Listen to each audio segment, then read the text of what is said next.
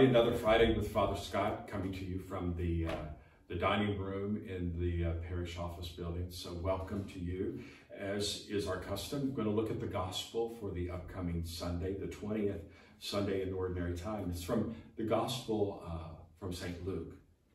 And Jesus said to his disciples, I have come to set the earth on fire, and how I wish it were already blazing.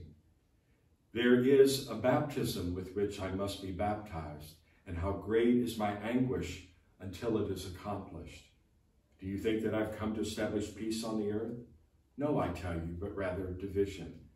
From now on, a household of five will be divided, three against two and two against three.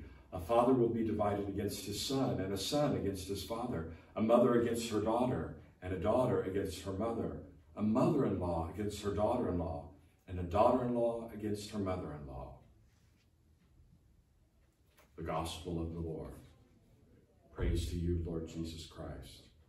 I, I, kind of a challenging gospel from sweet Jesus, uh, as we hear today, but it's really about uh, faithful and intentional discipleship. You know, uh, families will be divided, hearing the call and how we commit ourselves to, to follow the Lord, uh, building up his kingdom and uh, all that he has called us to be about. So uh, a very powerful, uh, poignant uh, gospel today about what happens when we commit ourselves and the radical call of following the Lord. So on this weekend in ordinary time, as we hear that challenge, you know, we're called to be uh, uh, faithful and true to the message of, of Jesus and, and all that that entails. So as you hear his voice, as you accept his call and challenge, we do it each and every day uh, to commit ourselves to St. Paul, that we're, you know, gently working out our salvation with the Lord. So uh, we're called to follow him. So as we uh, reflect on the gospel today and all that it means, the, the, fire is, has been started. So um, hear the message today. Uh, just uh, one of those public service announcements. Uh, Monday uh, is a holy day. It's August the 15th. Uh, the Assumption of the Blessed Virgin Mary, but it falls on a Monday, so it's not a holy day of obligation. So just being mindful of that as we um, move forward. All things happening, things are gearing up around here. The first day of school is Tuesday.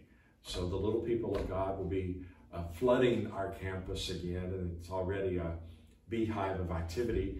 Um, the Archbishop uh, Shelton was here on Tuesday of this week. Um, uh, he and, and I uh, con-celebrated uh, the Eucharist together for all of the elementary school teachers in the Catholic schools uh, of the Archdiocese. At least they were all invited. So I think we had roughly close 550, something like that. So it was a wonderful day to greet and meet and uh, open our doors wide for uh, people from around the Archdiocese of Louisville. So uh, a lot of good things, ladies and gentlemen, going on. So uh, until we meet again, uh, pray for each other, you know, keep our eyes out, watch each other. And, and as we come to you today, it's Donnie's last Friday here on our staff. And I, I remember when he showed up the first time with his uh, Leave It to Beaver hat. Now that's me teasing him. And he's, he's grown up now. He was a seventh grader and he transferred here. Uh, and he went to Trinity, then he went to Bellarmine, and then he worked for us as an intern, and then we hired him.